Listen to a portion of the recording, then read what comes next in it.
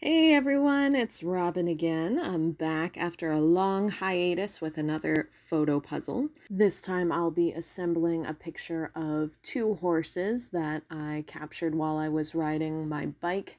I like to go past this little farm and I've taken many pictures of these horses, but um, this this time I was lucky enough to have one look straight at the camera, and so I'm pretty pleased with this picture. Overall, it was a pretty easy puzzle to solve um, be- mainly because of the fence and the different shades of grass and sky. In case you'd like to solve it yourself, I'll put the link in the description and enjoy the brief assembly.